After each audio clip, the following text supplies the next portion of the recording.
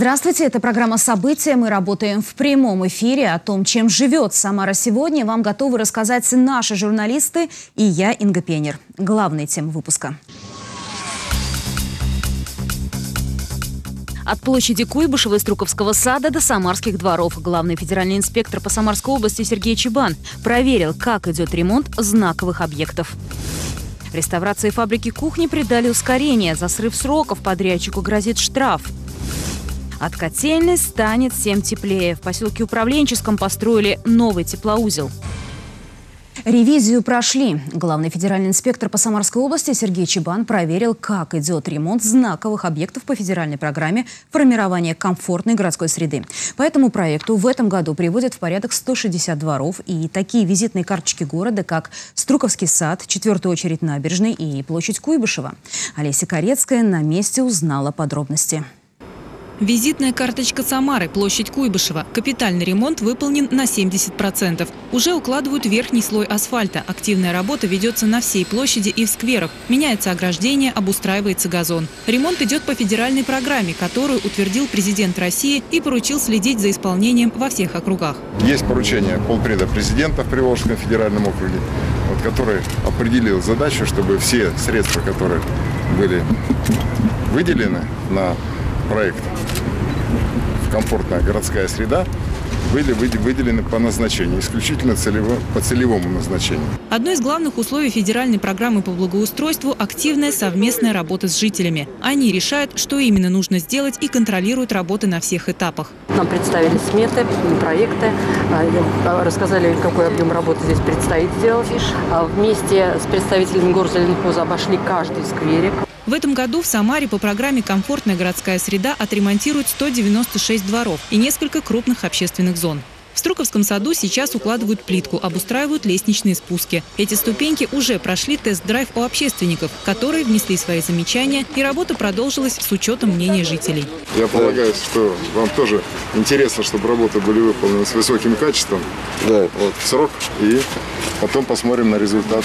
Конечно, мы будем с терпением ждать открытия опять Строковского парка заново, чтобы здесь пройти, могли здесь наши гулять. По дворе улиц Галактионовской и Самарской идет ремонт внутреннего проезда. К чемпионату приводят в порядок и фасад. И только в одном вопросе жители не могут прийти к согласию. Где разместить спортивную площадку, а где должны стоять мусорные контейнеры. И в основном все жильцы вот нашего дома и рядом все возражают только вот этот дом за свою эту площадку. В этом весь спор. Я так думаю, что мы его решим. Я думаю, что компромисс будет найден. Для решения вопроса федеральный инспектор посоветовал жителям еще раз провести общее собрание с участием главы района, чтобы найти компромисс и успешно завершить ремонт двора по федеральной программе, которая в Самаре выполняется по всем условиям, подытожил Сергей Чебан. Согласование с общественностью есть. Соответственно, не только есть, но и общественность привлекается и участвует в проверке качества выполняемых работ. Вот за это я признателен. Я думаю, что в ближайшее время мы сформируем четкий план, и в соответствии с этим планом мы будем проводить работу. Мы стараемся выполнять все те задачи, которые на нас возлагает руководство страны, руководство региона. И сомнений в том, что мы с чем-то не справимся, у нас абсолютно нет. Должен сказать, что губернатор области Николай Меркушкин э, очень внимательно реагирует на ход ремонтов. Мы понимаем ответственность, которая у нас перед горожанами, перед руководством страны, поэтому никто никого, безусловно, не подведет. Контроль на всех объектах федеральной программы продолжится. Федеральный инспектор поручил проводить еженедельный мониторинг. Олеся Корецкая, Артем Сулайманов. События. Реставрация фабрики кухни в Самаре возобновится в начале октября. Об этом заявил руководитель управления государственной охраны объектов культурного наследия Самарской области Владимир Филипенко. Летом работы не велись. Это связано с тем, что в первоначальном проекте ремонта не учитывалось состояние одной из конструкций. Процесс затянулся, и за это подрядчику грозит штраф. Архитекторы опасаются, что частично разобранные конструкции здания не выдержат осенней и зимней непогоды. При этом подрядчики потратили уже 70 70 миллионов рублей. В пределах 70 миллионов освоено на э, этом объекте.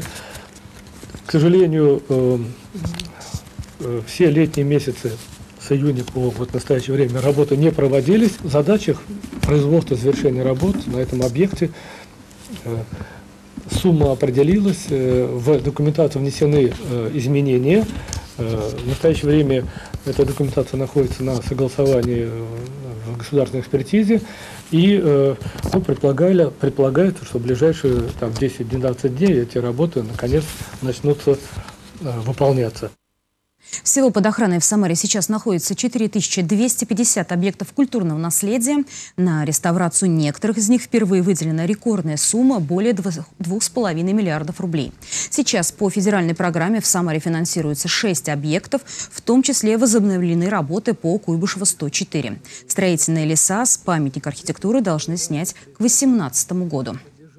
Будет тепло, вне зависимости от прогнозов синоптиков. Коммунальщики обещают, в домах самарцев батареи заработают срок.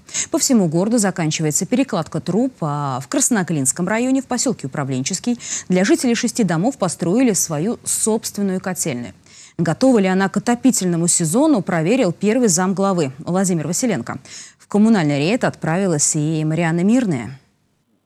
Как и положено, на новое место первым запускают кота – Котельная в поселке Управленческий полностью готова к работе. Остались технические вопросы, смена зонирования и подготовка исполнительной документации. Ну, я еще раз говорю, это чисто технические вопросы. Пробный пуск газа на сухую у нас будет на следующей неделе.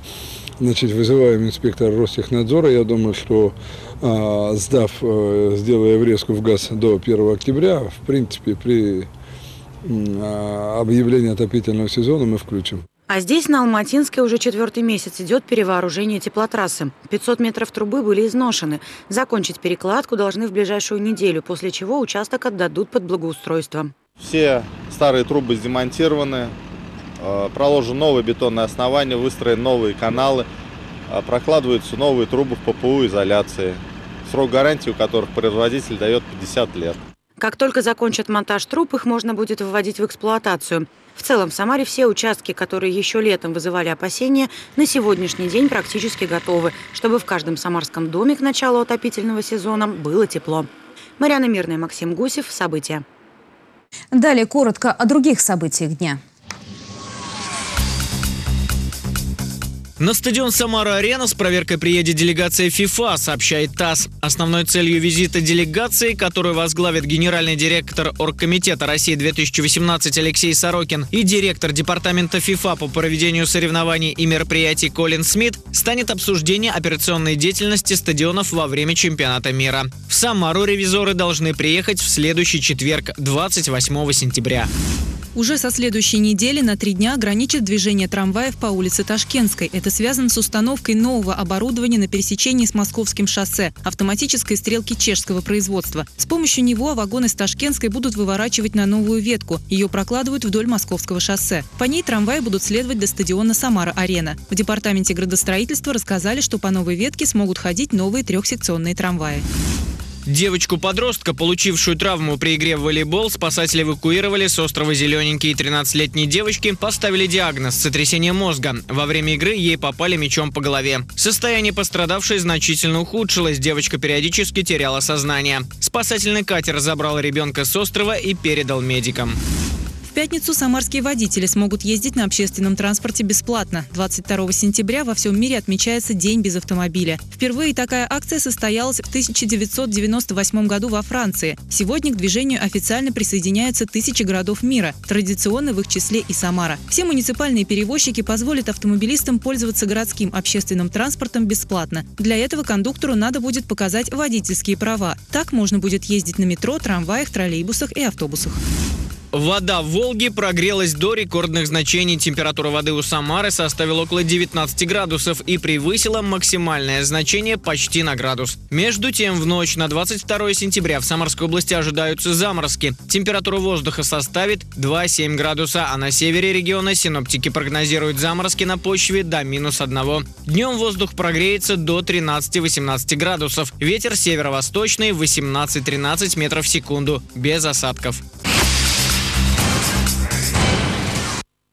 Трех должников выявили сотрудники транспортной полиции и управления судебных приставов на Самарском вокзале. Акция «Узнай о своих долгах» прошла в зале ожиданий. 100 тысяч рублей задолжали на троих самые злостные неплательщики из тех, что удалось задержать. Это и просроченные кредиты, и взыскания, и исполнительные сборы. На наличие долгов проверили почти 30 человек. Некоторые проштрафили сразу по нескольким пунктам. Нарушителем можно стать и во время поездки. На вокзалах и в аэропортах можно получить штраф за курение и распитие спиртного, а также за появление в пьяном виде. Любые задолженности, предупреждают полицейские, необходимо оплачивать своевременно.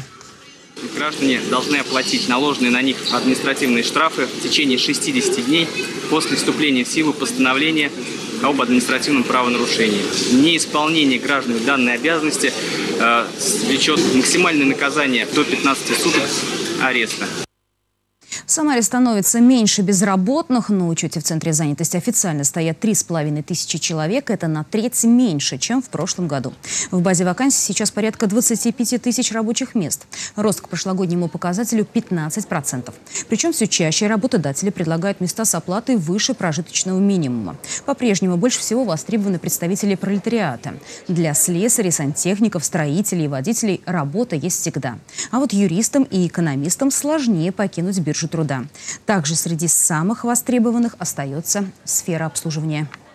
В Самаре действительно это развито и будет развиваться то, что связано с ресторанным бизнесом, с гостиничным бизнесом, с обслуживанием. Это, безусловно, связано, конечно, и с чемпионатом, но это все продлится и после чемпионата, потому что Самара становится туристически привлекательной. Кто он? Лучший студент года? Традиционно этот вопрос решается в Самаре состязанием. Претенденты на это почетное звание уже прошли предварительный отбор. Теперь начался очный этап конкурса. Студенты презентуют себя перед жюри, чтобы пройти дальше. Чем юные таланты будут удивлять, узнала Мариана Мирная. У вас не двоится в глазах. В эфире действительно студент Александр Балабанов берет интервью у Александра Балабанова. Будущий учитель начальных классов к самопрезентации подошел творчески и записал видеоролик, в котором рассказал о своей волонтерской работе. Я вижу э, в Инстаграме, ВКонтакте фотографии, которые исчезают. Где-то, есть, есть молодежь с сигаретами, с, э, где-нибудь с алкоголем сфотографированы, они исчезают. Это как бы первая реакция. Вторая реакция, а, э, человек поистине, который хочет быть таким же волонтером, как и я, и остальные равняться на других, быть волонтером своего города, он заинтересовывается в этом, он звонит мне или пишет, а, хочет прийти в наше молодежное объединение, объединение вместе с нами начинать проводить такие тренинги. Участвовать в конкурсе «Студент года 2017» Александру посоветовали друзья и педагоги. Таких, как он, в этом году перспективных и талантливых оказалось 426. Именно столько заявок было подано со всей области. Оценивать соперников будут 11 членов жюри. Добровольчество – это очень такое направление специфическое, потому что добровольцы, они обычно люди скромные, они э, умеют э, помогать, они умеют э, делать добрые дела, участвовать, но не всегда они могут как-то, скажем так, представить смело, да, заявить о себе. Вот. Но э, ребята это делают, им это удается. Конкурс Самарской области проходит уже в шестой раз. Очный этап соревнования – нововведение прошлого года, которое дало положительные результаты. Так почти 200 участников будут презентовать себя перед жюри. Здесь на очном этапе ребята должны уже продемонстрировать в первую очередь свои коммуникативные навыки, умение презентовать себя, что немаловажно, рассказывать о своих достижениях и отвечать на вопросы жюри.